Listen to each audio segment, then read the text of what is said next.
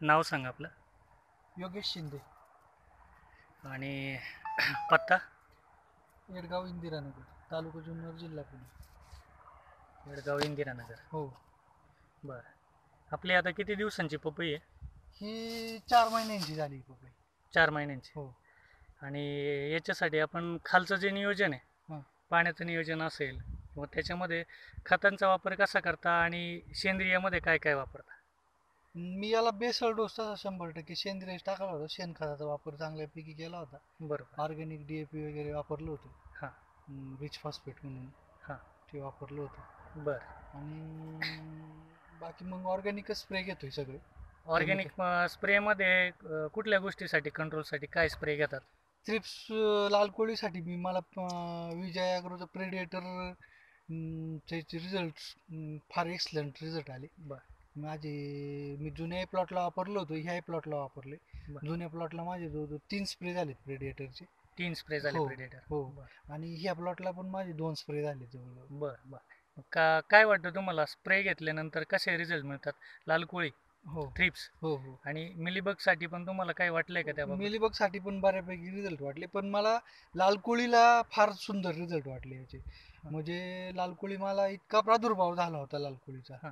की मला प्लॉट सोडून द्यावा लागेल असं वाटत होतं. बरं. पण अं, मी प्रेडिएटरचा स्प्रे घेतल्याच्या नंतर एकदम चेकच झालं ते. काहीच राहिलं नाही लाल कोळी बरं. हो लाल कोळी एकदम क्लीनच झाला. कारण. हे पानाची आकार मोठा असल्यामुळे हा. याच्यात लपायला फार जागा आहे. बरं. आणि याच्यात लाल कोळीचा वरून नाही पानाच्या वरून दिसत नाही. लाल कोळी सगळा पाठीमागून असतो.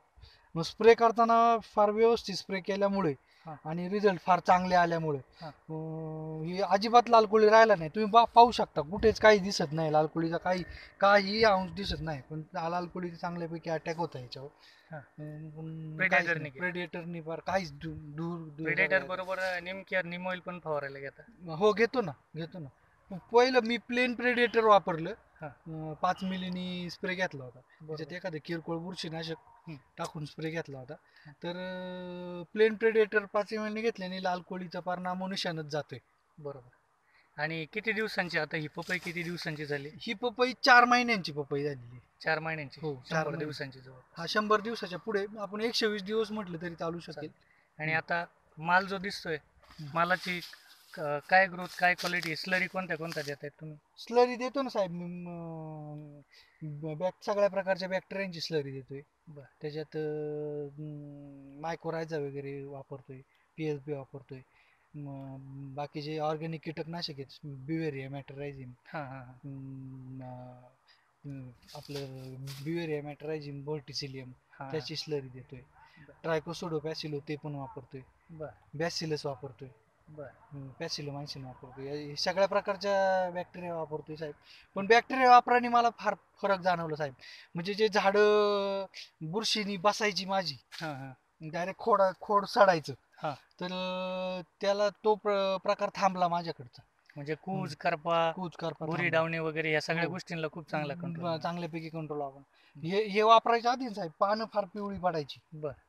मायक्रोरायझा वगैरे वापरायला लागले नंतर पानं पिवळी पडायचं प्रमाण पण घटलं. घटला. आणि बाकीच्या याला पण सगळ्यात मग जमीन सशक्त झाली साहेब. माझी. सशक्त झाले. जमीन सशक्त झाली चांगल्यापैकी.